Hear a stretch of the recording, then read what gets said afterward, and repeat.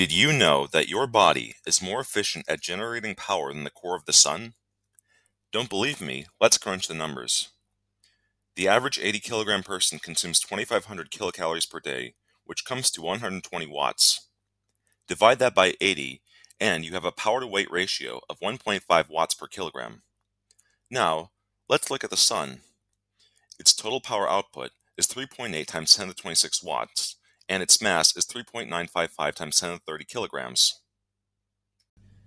10% of the mass is in the core, so the power to weight ratio of the core is roughly 1 milliwatt per kilogram, 1 1500th of your body tissues. But how could that be if your body is 37 degrees while the core of the sun is millions of degrees? Well, say you have a cube of material with a weak power source inside. The object will heat up at a slow rate, but if there is nowhere for the heat to go, eventually it will reach thousands and millions of degrees. Now, there is only one way for heat to be transferred in the vacuum of space, as light energy. When an object is heated, it will glow brighter, i.e., release more energy. How much energy is a function of the temperature to the power of 4. When an object in a vacuum is heated by an internal power source, it will get hotter causing it to glow brighter until the energy is emitted as light at the same rate that it's generated, at which point an equilibrium will be reached.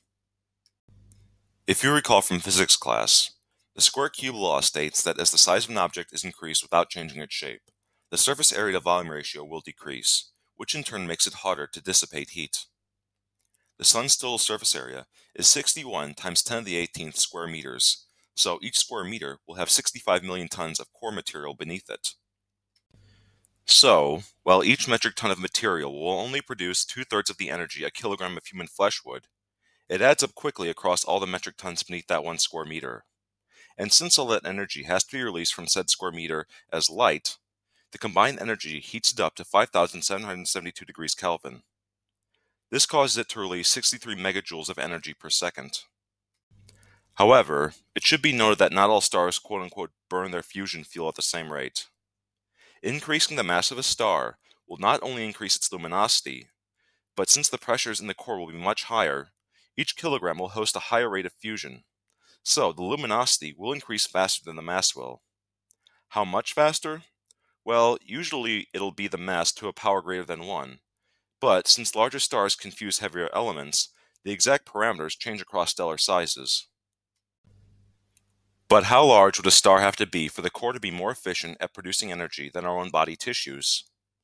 First things first, it'll have to have a luminosity to mass ratio 1500 times greater than our own sun.